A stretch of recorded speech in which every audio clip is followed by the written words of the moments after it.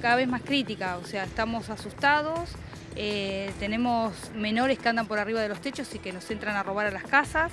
Eh, hay denuncia, eh, la policía no, no, puede actuar porque son menores y las órdenes de allanamiento no llegan. Que no puede ser que chicos estén drogándose, nos tengan a todos amenazados y estemos todos asustados. Salí a tender una ropa y cuando sentí un ruido que pensé que él había abierto el ventilú y yo le iba a hacer una joda a él, salgo para el patio y sentí el ladrillazo acá en la cara y pegué un grito que miraran, que había alguien saltando el portón, lo único que le vi es un buzo gris con capucha, flaco, alto, cara no le vi, porque aparte tenía sangre en el ojo no, y el golpe.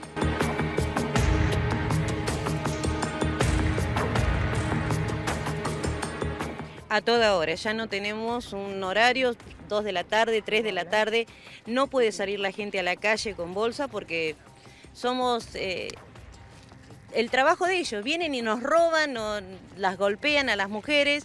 No, ya tiene una impunidad tremenda, tremenda. No sabemos más a quién pedirle.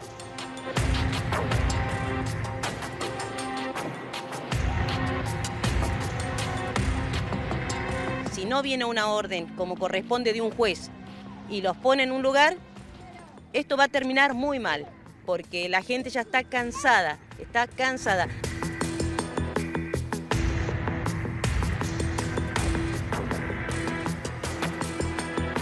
Estamos cansados de las cosas que están pasando.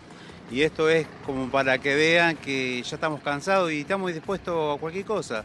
O sea que ya no nos importa llegar a cualquier cosa con tal de defender lo nuestro, ¿no? Porque es feo vos trabajar todo el día y llegar a tu casa y que se lleven algo que te cuesta, todo te cuesta más hoy en día. Entonces a ellos no les importa nada. Así que acá más a nosotros no nos va a importar nada actuar de la forma que actuemos, ¿cierto?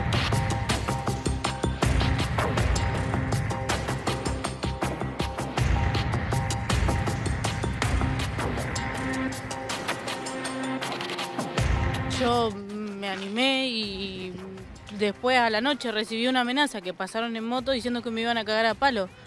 Y yo ahora me da miedo salir a comprar, por miedo a encontrármelos. Es más, me da miedo salir con mi hijo. Yo tengo un hijo y me da miedo por él, es como yo decía.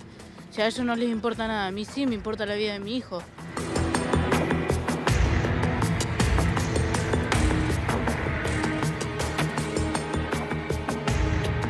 La última vez que pasó lo de la vecina que le pegaron el ladrillo en la cara, eh, el hijo nos avisó por mensaje y vinimos todos, pero venimos con de todo, o sea, venimos a, atacar también porque o son ellos o somos nosotros. Los vecinos tratamos de tranquilizarnos, no tratar de, cometer errores, pero en este caso estamos todos de acuerdo que si a algún vecino le pasa algo vamos a acudir todos. Y bueno, el resultado, hasta que no, no haya una solución, el resultado puede ser cualquiera.